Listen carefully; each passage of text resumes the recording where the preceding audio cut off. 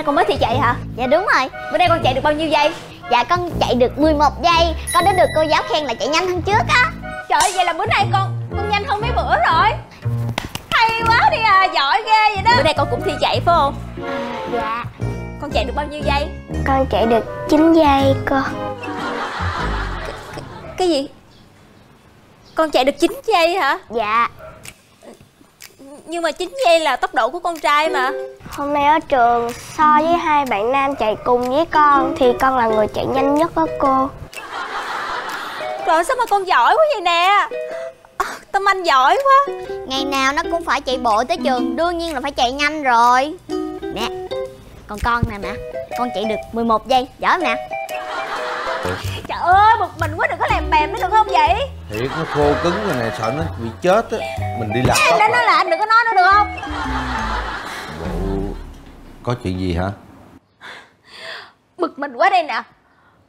Học cũng thua người ta Rồi bây giờ chạy bộ cũng thua người ta nữa. Em nói ai? Còn ai vô đây nữa? Con gái rượu của anh chứ ai nữa? Nó làm sao? Nó học cũng thua Tâm Anh Mà bây giờ tới chạy bộ nó cũng thua Tâm Anh nữa là làm sao?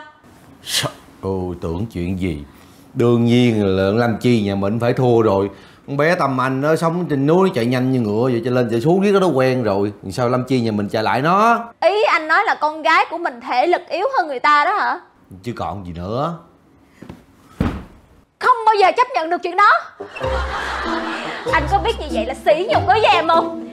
Em là giáo viên thể dục mà.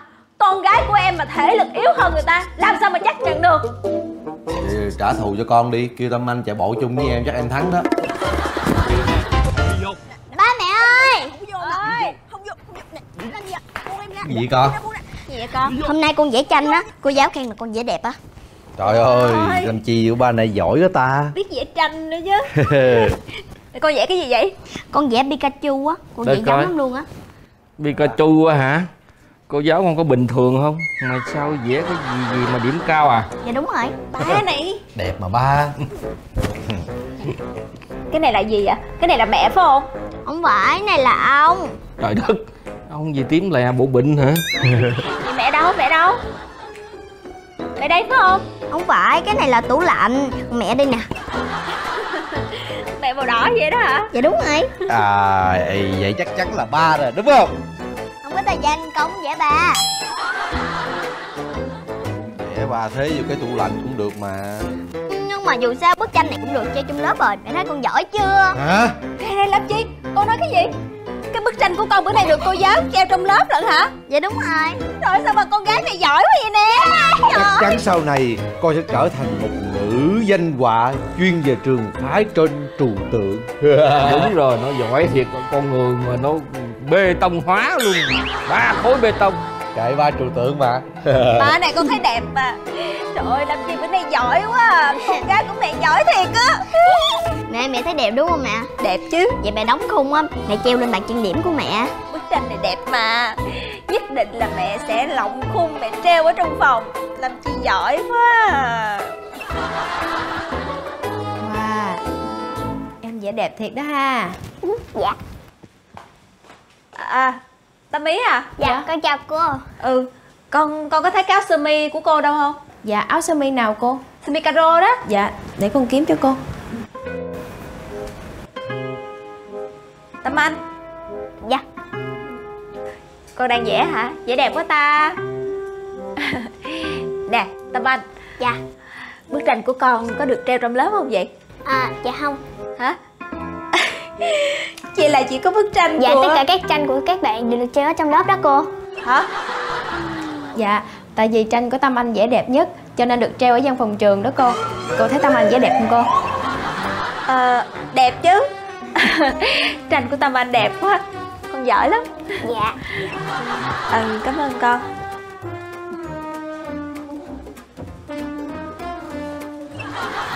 Đây là chị nè Đây là em nè lại giùm mẹ đi mà. Dạ cô ơi. Ủa hai đứa đi đâu vậy?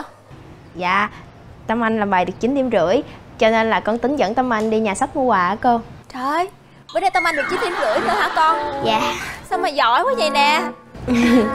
Con nhớ là cố gắng lên nha.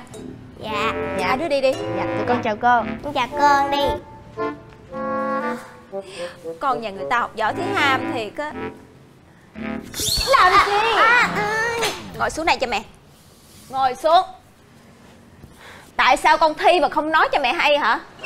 Cái đó đâu phải là thi Chỉ là bài kiểm tra nhỏ xíu xíu xíu. Không Đưa đây cho mẹ. Không Đưa đây cho mẹ. Ừ. Đưa đây cho mẹ. Kỳ này con sẽ cho cái đồ đáng ghét nó biết tài Lần nào thi cũng chỉ có một điểm rưỡi cái con nhỏ này, Con học hành cái kiểu gì mà chỉ có một điểm rưỡi à hả? Tại cô cho bài khó quá thôi. Còn nói nữa hả? Tâm Anh người ta đi học sau con lâu lắm luôn á. Mà lúc nào người ta đi thi cũng được 9-10 điểm. Còn con lúc nào cũng lẹt đẹt một, hai điểm là làm sao? Không biết mắc cỡ hả?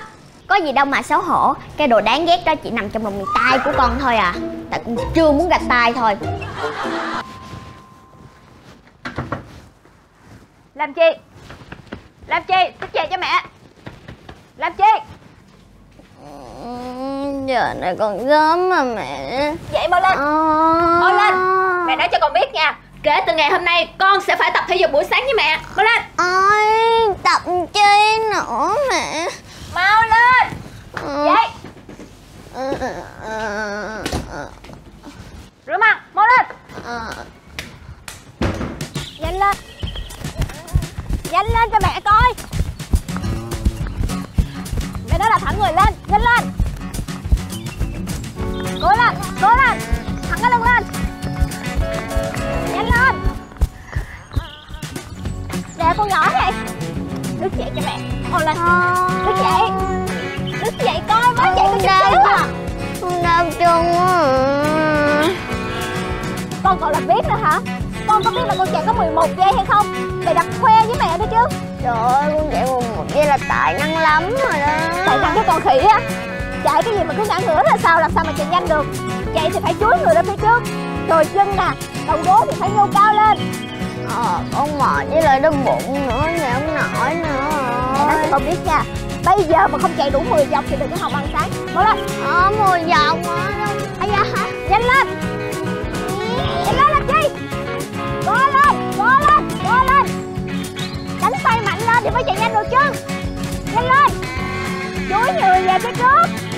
Ngửa ra phía sau Cố lên nè Cố lên. Cái con nhỏ này Nè con chạy đi đâu vậy?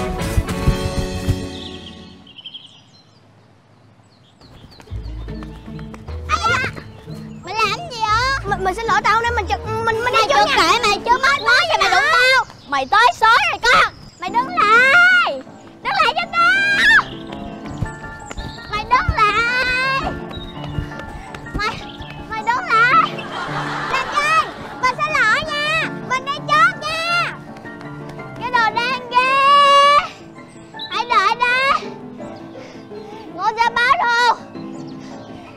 thật kịch gì?